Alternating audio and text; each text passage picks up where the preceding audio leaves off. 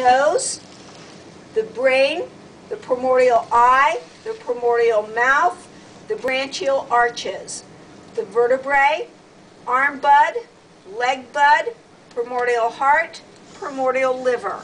And you would use the word embryo with any one of those that I asked. At most, I'll ask one. Questions there? Okay, this baby.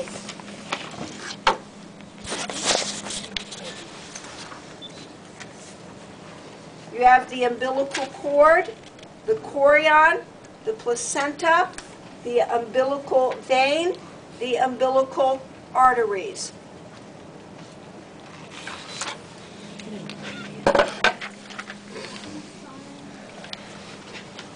On the ovary, you have the primordial follicles, primary follicle, but it's on a slide, secondary follicle, it's on a slide, Graafian follicle, I can take apart, Graafian follicle with a mature egg.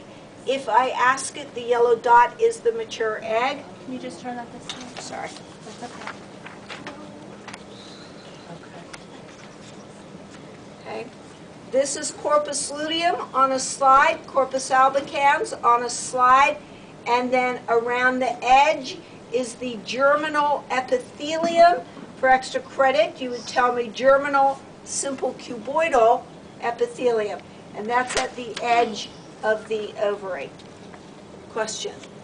Do we have to know number, number nine? Oh, I'm sorry, and this is the ruptured follicle. The ruptured follicle. Looks like a deflated balloon. That, by the way, is the ovarian ligament.